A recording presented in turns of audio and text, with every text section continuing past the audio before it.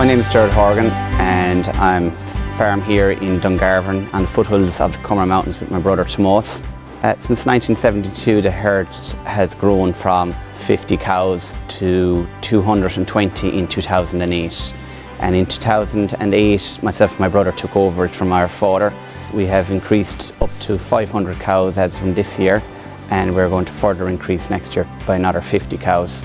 At the moment we've kind of hit a lot of our goals above our um, scheduled planning, but where we want to get now is into more efficiencies and we want to reduce our costs. Our journey started when we built the rotary parlour back in 2012 when we went from a 20 unit rotary to 50 unit rotary and we have savings of over a day's labour a week. So then we started looking at our feed. Our feed takes an awful lot of time, it takes a lot of energy, money and we needed to save time. We do about 30 to 40% of our milk production during the winter time. So it's crucial that we get the milk and the feed exactly right.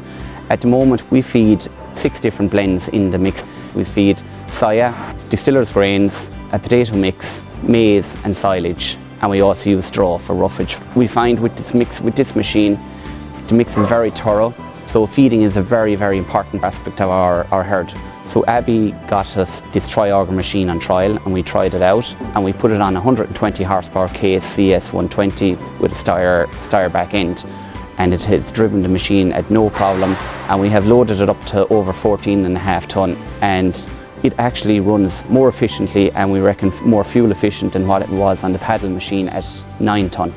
From an engineering point of view, I was very happy with the robust build of the Abbey machine, the steering mechanism for efficiency in moving around our yard, and the height. Self-steering axle was a big issue for us ourselves here because we have a tight yard with lots of corners and bends. Our old machine was a two-axle one and this machine is coming in maybe another maybe eight feet longer. The self-steering on it, it actually moves around the farm easier, there's no tearing on the machine and we can get in and out quicker and safer. The parts I like about this machine is number one, the drive shaft system. It's very simple, straightforward drive, straight from the tractor through the three augers. The bolt-on mechanism for the auger steering, it's very efficient, easy to maintain. The steering system is very simple. The visibility of the machine has been enhanced with cameras that we put on it. When this machine came, we were looking at it and our old machine only had one door, but we looked at that, the two doors, as another way of increasing output by opening the two doors we can increase the tractor speed as putting out the feed. The quicker we can get the feed out to our cows, the quicker they can eat, the quicker they can sit down and the quicker they can start making money on their bellies for milk. It's all about speed to us. At this moment in time, changing from our old machine to this machine and we haven't hit peak production yet, we can see a, a time saving of between one and one and a half hours and as we come to peak we reckon we'll probably become somewhere between one and two hours per day of time saving. The benefits of the Abbey Tri-Auger since it's come to Ashtill Farm are, is that number one, that we can put it on a small tractor which, is, which can drive it very easily. We have great mobility in this machine running it from the old yard into the new yard. Our other big good benefits of this machine is our labour saving on this machine. Every day we have a few hours saving.